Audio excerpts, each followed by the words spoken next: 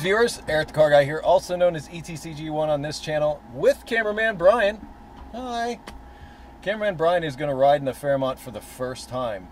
You have never ridden in the Fairmont.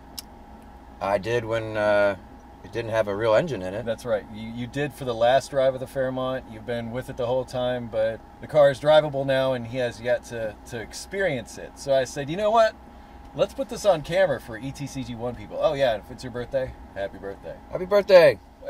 Hey, so for your special birthday present, we're gonna scare cameraman Brian a little bit.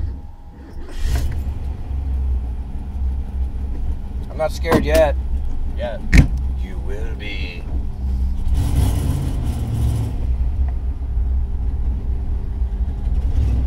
Glad you had a few laps in this. yeah. Well, I'm still dialing it in. I'm. s- I don't know. Honestly, I just did some carburetor adjustments. I don't know if the carburetor adjustments are gonna work out. This may not be as fun as it has been in the past. We'll see. But uh, that's that's kind of the point of the exercise. We just sort of want to see where things are. Now, I'm not gonna get you right off the bat. We'll ease into it.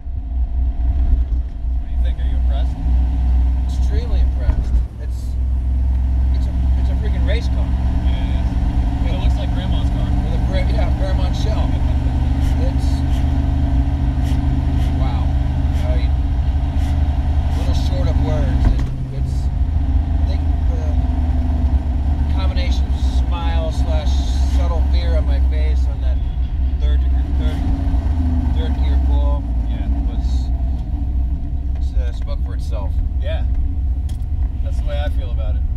I still feel a little more tweaking on the carburetor. Is it better? It's better, but I, I still feel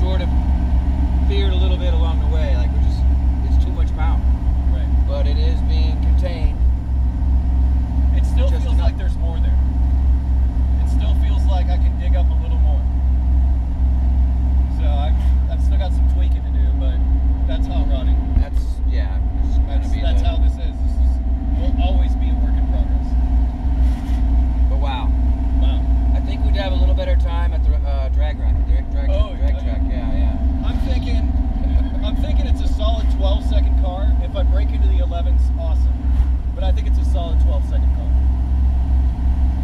What did we run before? 20. All right, automotive question